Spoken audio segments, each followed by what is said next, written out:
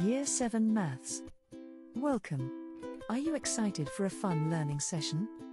Make sure you have your book and a pen before we start. Today you are going to learn to solve algebraic expressions. Solving equations. To solve an equation, the first task is to rearrange the equation to get the term you want to find it. When rearranging, make sure to remember to do the inverse of the operations.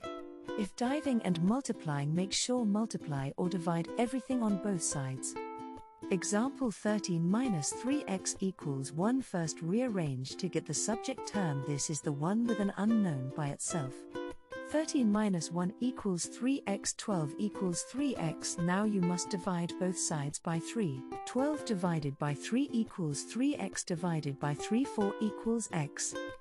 If there are unknowns on both sides, the unknowns must be collected together on one side with all the numbers on the other. If the equation has an x squared in it, the inverse of the x is square root. You must remember that the answer can be positive or negative. This is because square roots can be positive or negatives.